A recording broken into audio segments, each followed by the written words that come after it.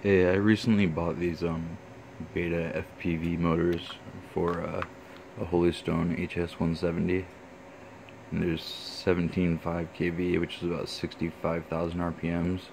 I just wanted to say that, like, I do not suggest them unless you plan on running like a dual battery or two batteries or a very heavy battery.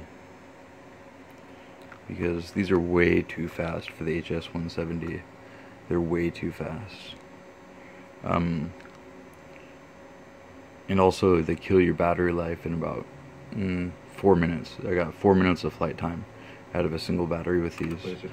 So I suggest, um, you know, maybe going with factory ones or going with just a slower one from a different name brand.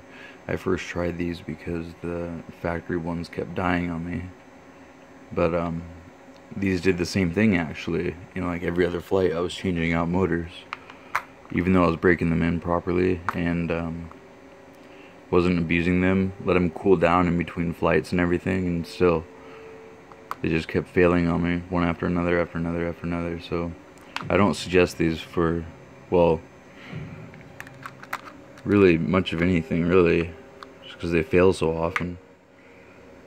I mean, I only have 380 milliamp batteries. I mean, how much abuse can I put these through? But as you can see, I'm down to three. Excuse me one second.